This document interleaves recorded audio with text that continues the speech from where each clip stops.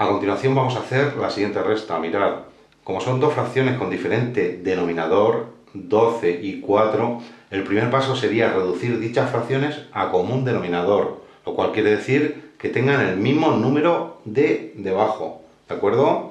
Y lo vamos a hacer por el método del mínimo común múltiplo.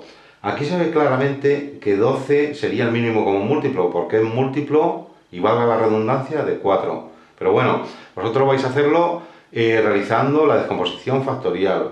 Si los números son mayores o son otros números, pues hacer la descomposición. Voy a hacerlo para que lo veáis. 12 entre 2 a 6, 6 entre 2 a 3 y 3 entre 3 a 1.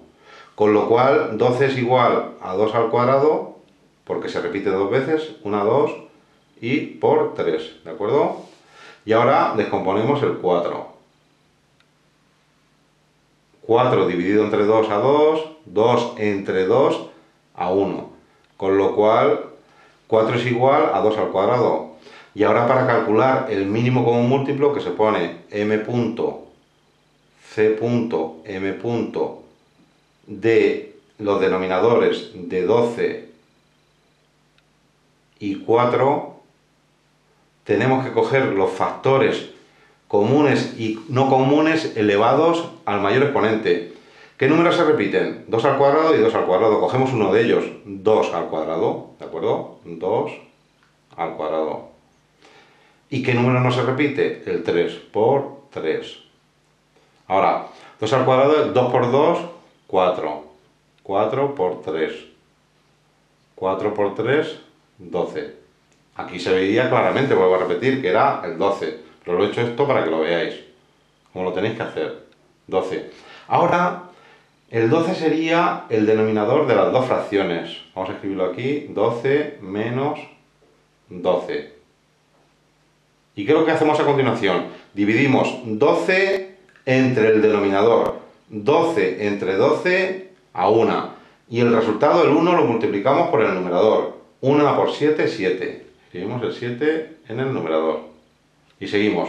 Ahora, 12 entre 4 a 3. Y el resultado del 3 lo multiplicamos por el 2. 3 por 2, 6.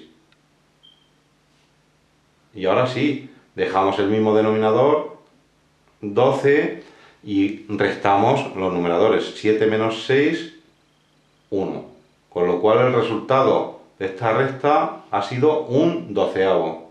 Mirad, hay editoriales que para calcular el mínimo común múltiplo, ¿qué es lo que hacen? Pues sacar los múltiplos de 12 en este caso, de los denominadores 12 y 4, y el primero que se repita será dicho mínimo común múltiplo. Vamos a hacerlo aquí para que lo veáis. Si yo saco los múltiplos de 12, 12, 12 por 1 es 12, 12 por 2, 24, no sigo. Ya lo voy a sacar los múltiplos de 4. 4, 4 por 1 es 4, 4 por 2 8, 4 por 3 12. ¿Qué múltiplo es el primero que se repite, si os dais cuenta, en los dos? Sería el 12, ¿de acuerdo? Con lo cual se ratifica que el mínimo con múltiplo, tanto por el método de la descomposición de factores primos, como por el método de sacar los múltiplos de los diferentes números, coincide sería 12.